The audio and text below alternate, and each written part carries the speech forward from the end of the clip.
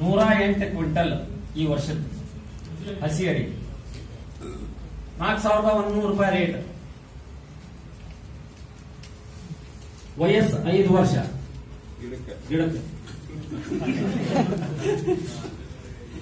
ಇದನ್ನ ನೀವ್ ಯಾರು ವಿಸಿಟ್ ಮಾಡ್ತೀರಿ? ತೊಗರ್ಸಿಂದ ಎಂಟು ಕಿಲೋಮೀಟರ್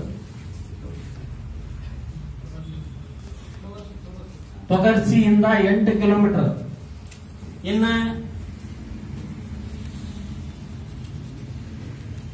ಕಲಕೊಪ್ಪ ಉಮೇಶ್ ಅಂತೇಳಿ.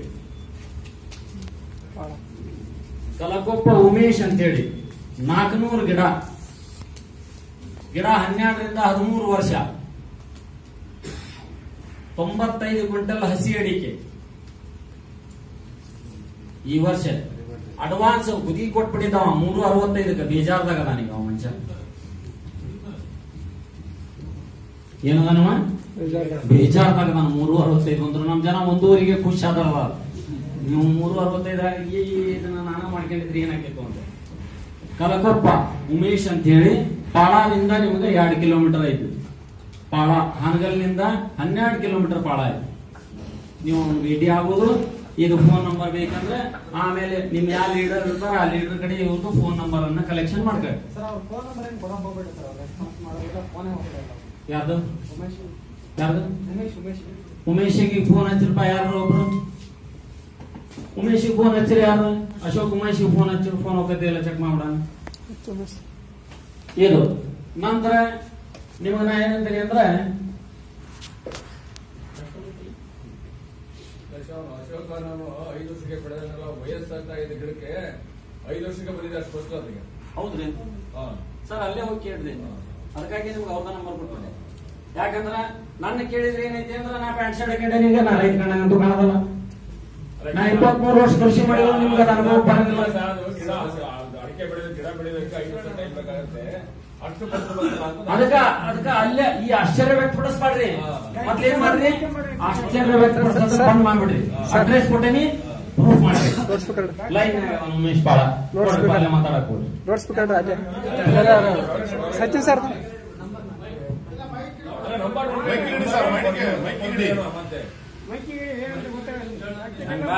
ಯಾಕೆ ಮೈಕಿ ಹಿಡೀಲಿ ನೀವು ಹೋಗ್ರಿ. ಖರ್ಚು ಮಾಡಂಗಿಲ್ಲ ನೀವು.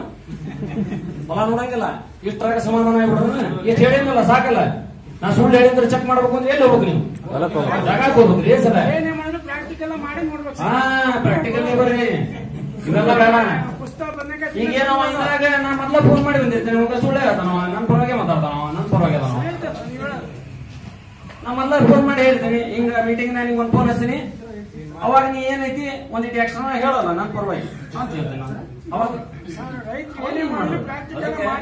ಯಾರು? ನಾವು ಒಂದ ಶಬ್ದ. ಅವ್ರು ಒಂದ್ ಮಾತು ಹೇಳಿದ್ರು ನಂಗೆ. ಏನ್ ಹೇಳಿದ್ರು?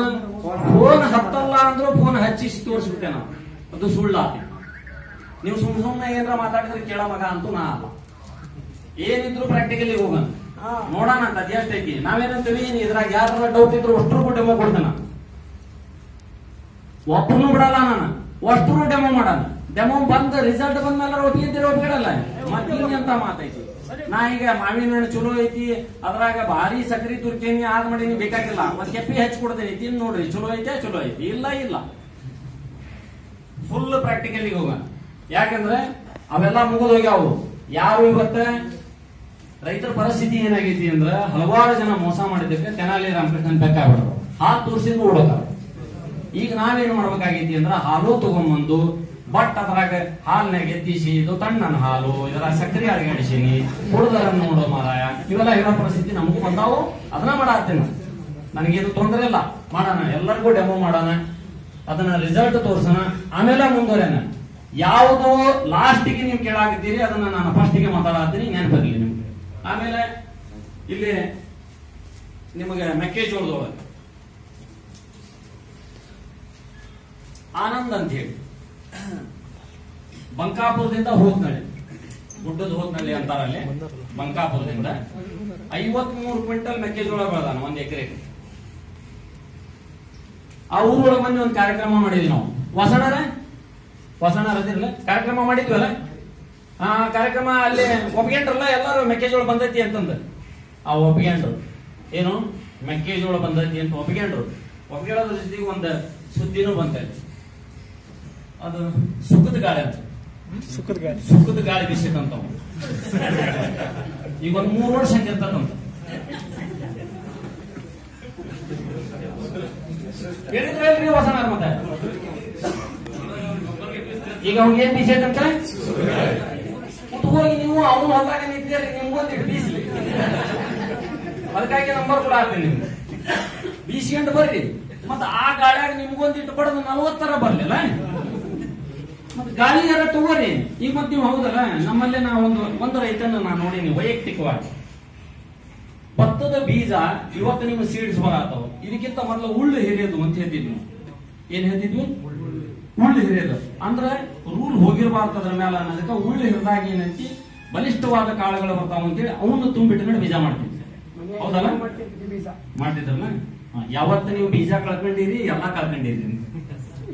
ನೀವೇನ್ ಮಾಡಿರಿ? ಯಾವತ್ತು ಬೀಜ ಕಳ್ಕೊಂಡಿರಿ? ಎಲ್ಲಾ ಕಳ್ಕೊಂಡಿರಿ ನಮ್ಮ ನಮ್ ಬೀಜನ ಹೋದ್ಮೇಲೆ ಇನ್ನೇನು ಉಳಿತೈತಿ